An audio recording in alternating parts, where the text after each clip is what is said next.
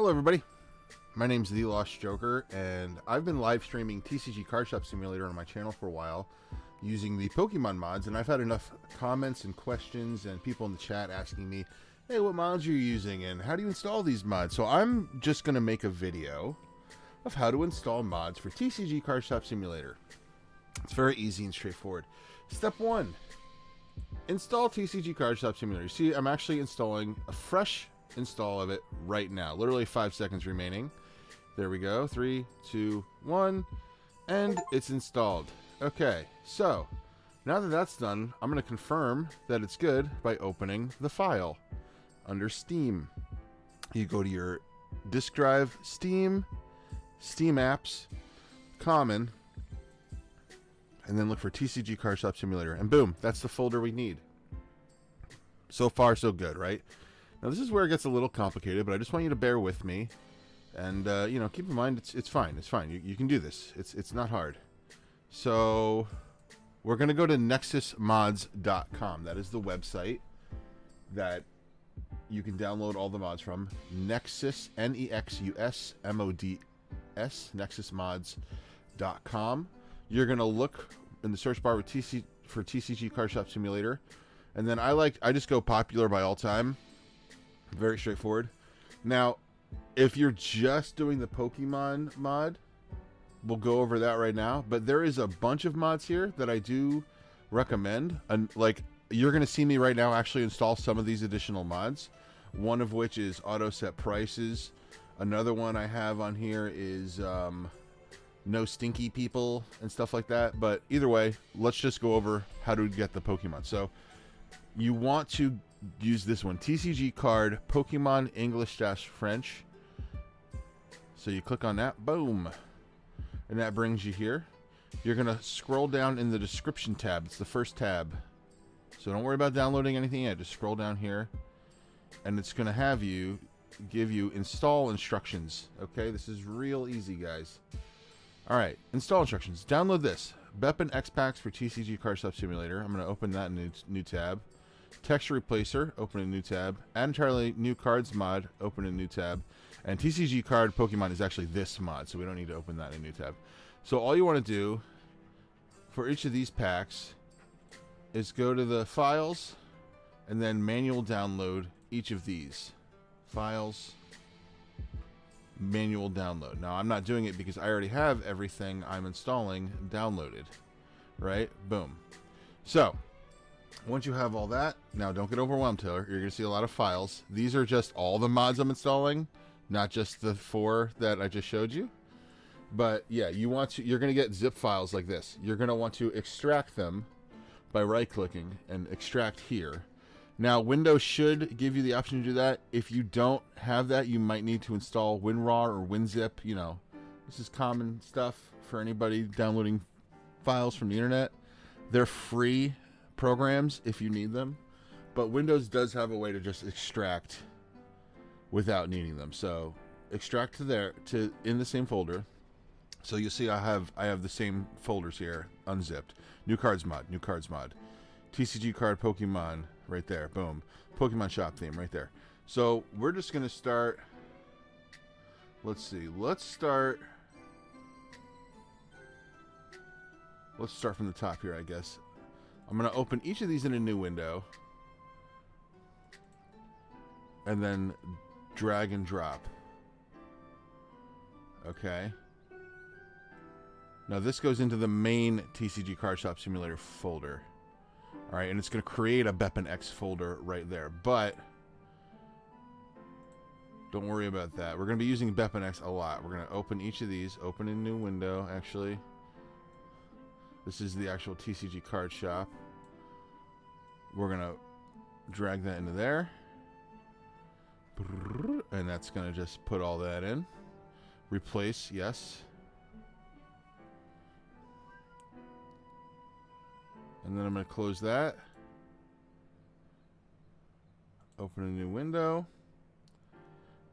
BepInEx, we're just to drag and drop into here.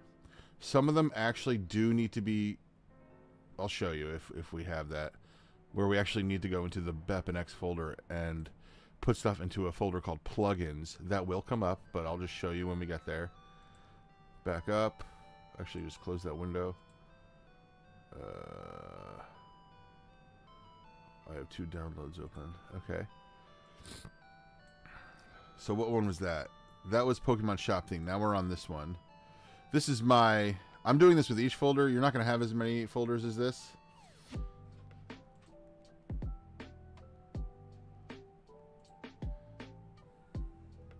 Funk Be Gone I'm putting in. That's my that's my anti-smell. Did it work? Yes, I guess it did. Sound replacer. Now, sound replacer, you see how it doesn't say BepInEx? This is where you need to be aware of this. Open BepInEx and go into plugins and put, see how there's already a sound replacer there? Yeah, replace that. Okay. Auto set prices, we're going to go back up to where there's the BepInEx and just click and drag. Very easy, right? I'm going to put everything in here. Replace the files. Texture replacer. Texture replacer goes into plugins. Okay. And then Pack for TCG Crush. Alright, so and then this one goes last.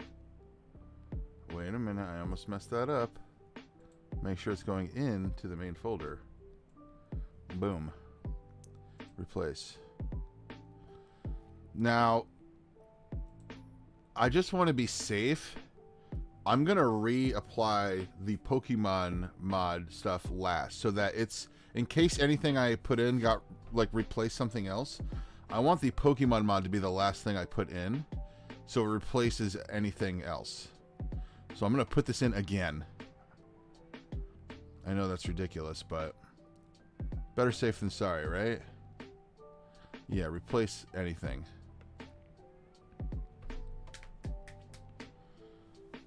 Okay, so that's all the mods, I believe. I just want to check something to make sure.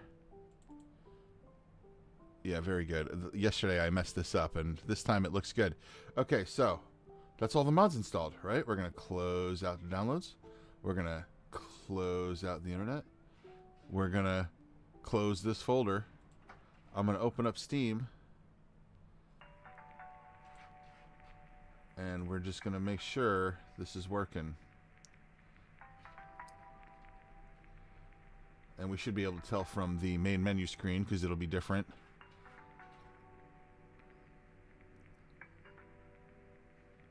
Give it a second.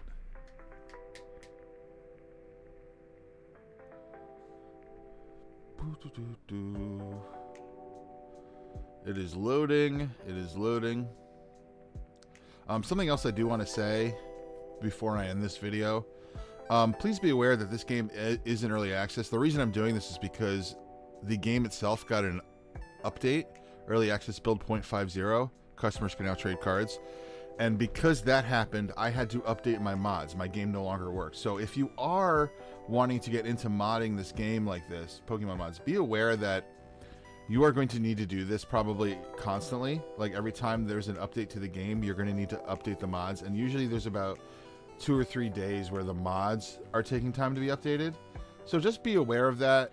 And like, if you don't want to deal with that hassle, maybe wait till the game's in its 1.0 release before doing something like this. But yeah, I just want people to not be frustrated because this can modding can be frustrating. But there you go. As you can see, my game is now working. Let me see if my games are here, if I deleted everything. Oh no, they are still here. Alright. Um, let's just take a look.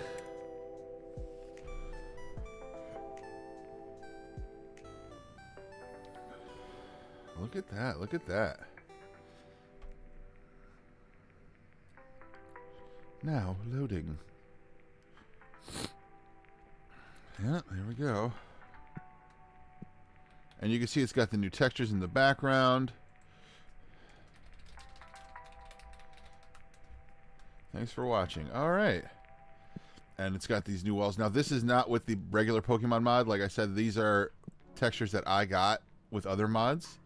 But you just saw how I installed them all, right? This is that's how it works. Oh, that's cha- It used to be a Mewtwo background. Now it's Eevee. That's cool. I might want to look at that and change that back. But again, these are just mods I can look at, right? Regular. Look at the packs. Look at that. Beautiful. Isn't that beautiful? Isn't that glorious?